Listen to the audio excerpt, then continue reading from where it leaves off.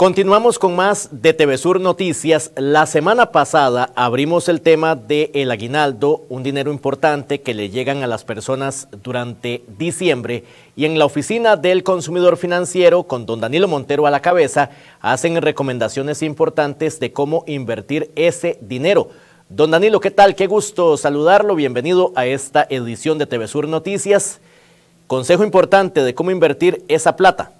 Muy buenas tardes, eh, Johan, un saludo cordial a todos los que nos siguen. Eh, la, idea principal es que uno pudiera eh, identificar, primero que todo, qué, quisiera hacer con esa plata, el aguinaldo. Sea mucho, sea poca, no importa, ¿verdad? Este, uno debiera primero plantearse, como casi todo en la vida, objetivos. Y entonces, un examen médico, una cirugía de una muela que hace días nos está fregando, eh, una reparación del techo de la casa o algo así, eh, o guardar una plata por un paseo. A lo mejor mucha gente ha estado todo el año esperando para irse para Matalimón, una cosa así, ¿verdad? Entonces, lo primero es definir objetivos. Primero, primero. Eh, en segundo lugar, tener una idea de cuánta plata va a llegar cuánta plata va a aparecer y para eso los medios de prensa y en el Ministerio de Trabajo uno puede averiguar exactamente cuánto es la plata que no más o menos le puede llegar.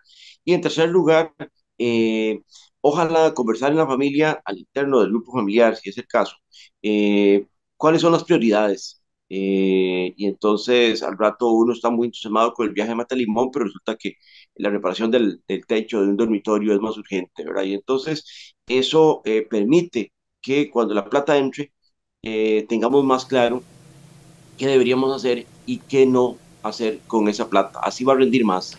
Don Danilo, ¿y qué ofrece el mercado para esas inversiones?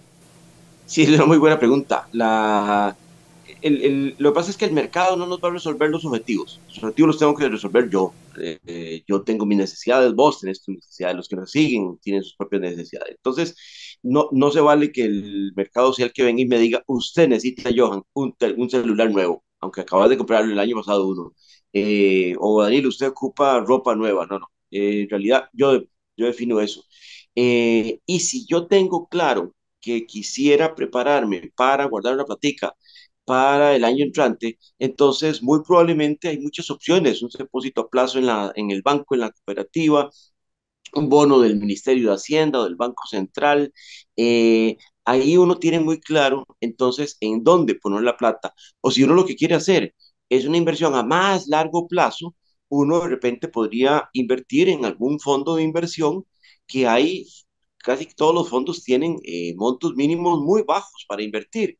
Y entonces lo mejor es andar guiar, así como, cuando, como cuando uno quiere una refri, camina a muchos lugares, bueno, en la oficina nos pueden escribir y nosotros le damos algunas ideas de lugares donde podría encontrar información de dónde colocar la platica. Perfecto, gracias a don Danilo Montero. Tenemos un capítulo más para la próxima semana sobre este tema que es importante de cara ya a este cierre del 2023. Hacemos pausa, ya volvemos con más noticias.